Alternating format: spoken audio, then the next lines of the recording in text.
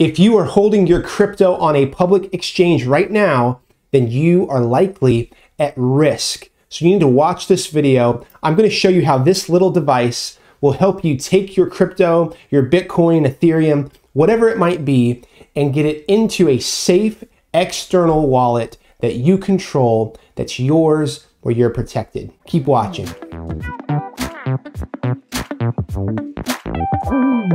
All right, welcome back. This is Joshua Talks Money. I share stories of personal finance. I built and sold a tech company, which taught me a whole lot about money. I share those lessons with you right here every week. Consider hitting the subscribe button. I'd love for you to be here for content like this moving forward. But let's talk about the crypto space. There's a lot of volatility. There's a lot of risk right now. If you just see the headlines, there are many exchanges that are freezing withdrawals, meaning that you cannot access and pull your crypto off of these platforms. You may never be able to because some of those companies are actually going bankrupt. There's going to be a lot of lawsuits and time for people to try to be made whole from companies that have went under. And if we take a look at Bitcoin's price, for example, you will see it's down almost 40% from its highs.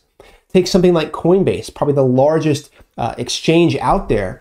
That company is down over 70% in the last year. And I own a lot of stock in Coinbase, so I'm in a lot of pain right now. But what would be more painful is having your crypto on one of those exchanges and then no longer being able to access it.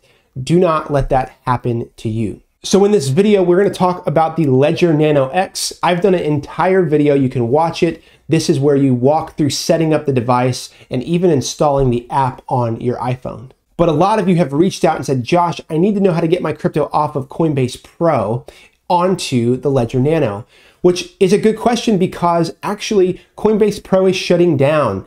Coinbase is going to consolidate into a single platform right on Coinbase. So let's go ahead and take a look at how to do this from the Coinbase Pro mobile app, at least for right now. All right, you're going to launch their iPhone app and be greeted with a markets screen. This is where it's showing basically the latest prices of some of the top cryptos on the platform.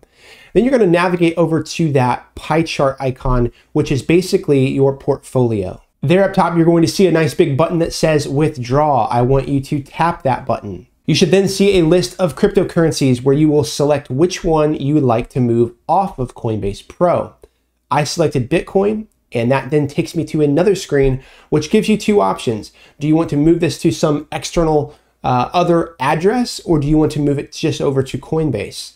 And in this case, you are going to select to move it to another address. Okay, and now you'll be greeted with the screen where you enter that address and it gives you some of the calculations of how much money you're actually moving off the platform. But this is where the Ledger Nano comes in. So now we need to fire this thing up and get this ready to give us that address where we can send the crypto. All right, so next up, I'm going to turn on the Ledger Nano device. There I will enter in my passcode, and then I will launch the Ledger app on my iPhone. All right, so there it is. And if you don't have the app, I have a video all about setting this app up. And right in the middle, there's this big white button that's basically a transaction button. So you're gonna tap that and you're gonna see a few different options, sending, receiving, swapping. And obviously here we want to receive. So go ahead and tap the receive button. Okay, next it's going to ask what you are trying to receive, which crypto. I selected Bitcoin. And then the next step is to pair your phone with the Ledger Nano device. So this is happening over Bluetooth. These are connecting. Follow the prompts on the device and you'll basically be able to connect that fairly quickly. Next up, you're basically going to see a address and a QR code on the app and this will correspond with a address that's displayed on the screen of the Nano.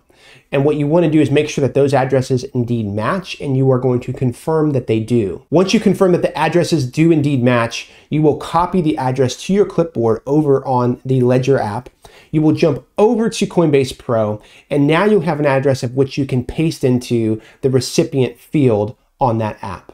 From there, Coinbase Pro will verify that this is indeed a valid address to receive this crypto, and you can continue on with the process of adding how much you'd like to send to that address and go through the confirmation flow. One of the last steps is that Coinbase Pro will actually ask for an authentication code.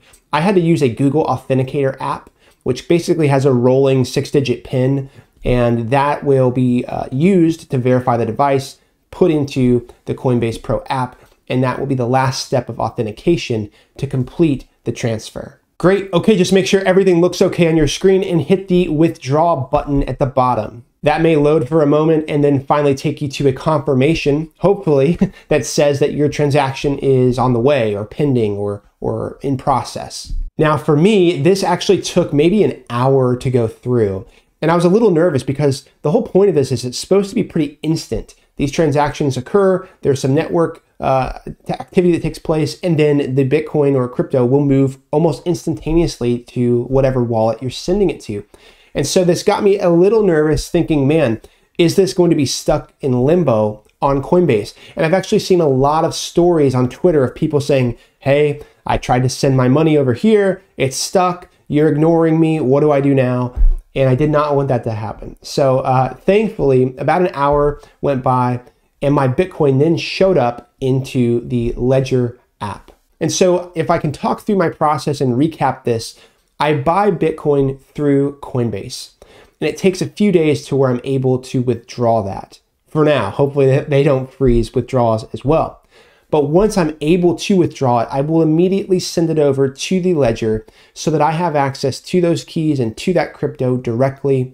I'm not at risk of uh, Coinbase or any other uh, platform holding or, or, freezing my money uh, the way that some people have when they just leave it there uh, exposed to hacks, uh, bankruptcy, and other risks. All right, and before you go, do you think Bitcoin is dead? Is crypto dead? Will, will this sector ever recover, or was this one big bubble and fad that we'll laugh about in the future?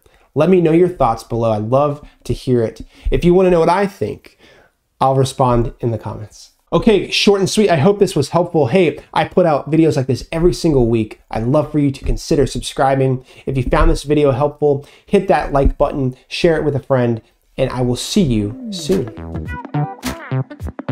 Ooh.